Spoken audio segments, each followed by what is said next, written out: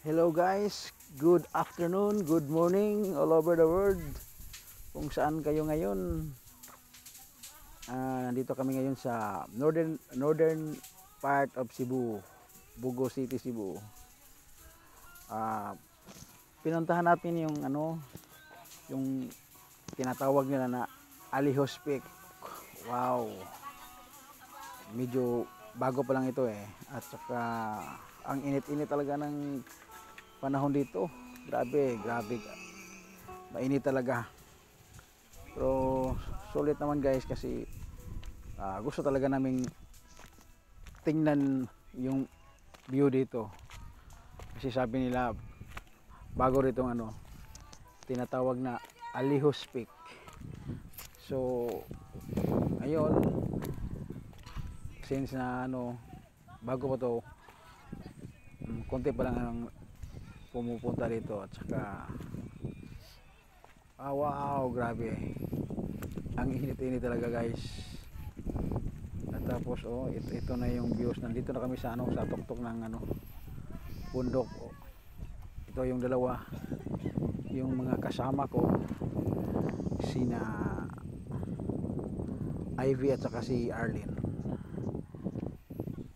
Mm, tingnan nyo makikita nyo ano yung dagat at saka dito ano yung ano yung sa bundok pero sabi nila mas maganda daw dito tingnan paggabi kasi makita na yung lights on sa ano sa baba. Mm. ito yung view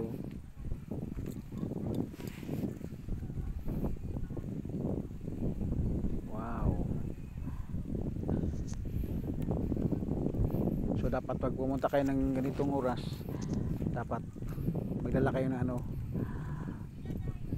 tubig para hindi kayo ma-dehydrate hello guys Ako sa kalaagan naman kuya. Hala! Lalam sa Little Speed! Po! Grabe po nilalipat na. Struggle. Hey, what Sige, can you say about dyan. this peak? At Pang- love you! Pang attendance dito eh. Parang nasa, nasa langit ka na. ito Alihos. Peak matatagpuan ito sa northern part of Cebu. Asa na po pictures nga Bugo City, Cebu. Philippines.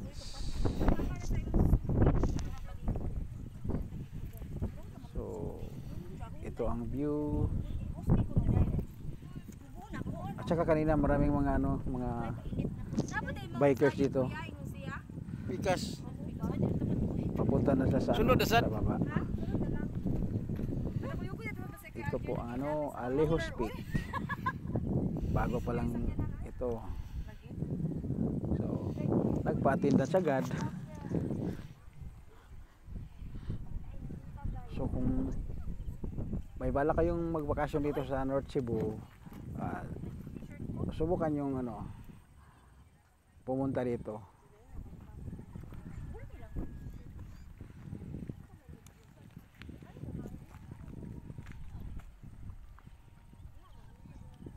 Alihos Peak. Hmm, yung mga ano, mga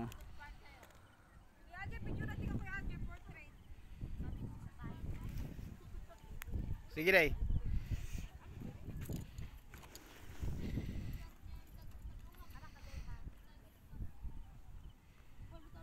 Kumusta kayo guys? Okay lang kayo dyan? Oo. Ang sarap ng hangin dito.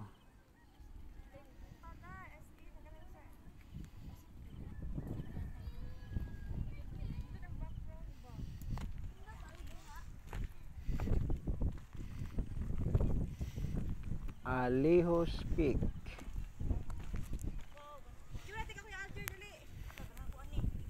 maganda